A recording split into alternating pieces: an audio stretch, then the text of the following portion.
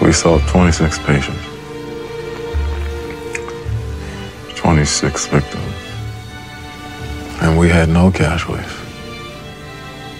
No one died.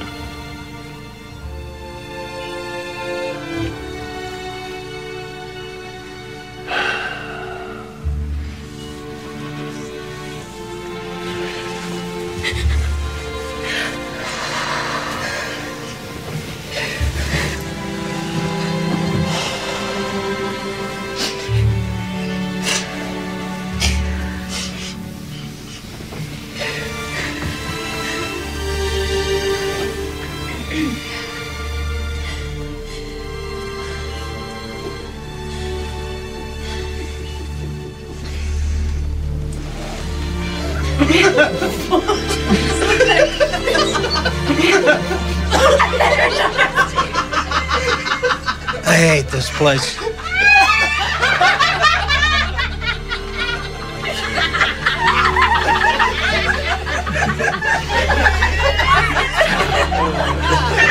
Surgery is extreme.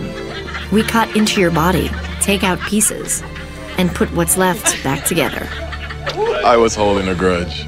I could hire you back, but you're gonna have to work under Stark.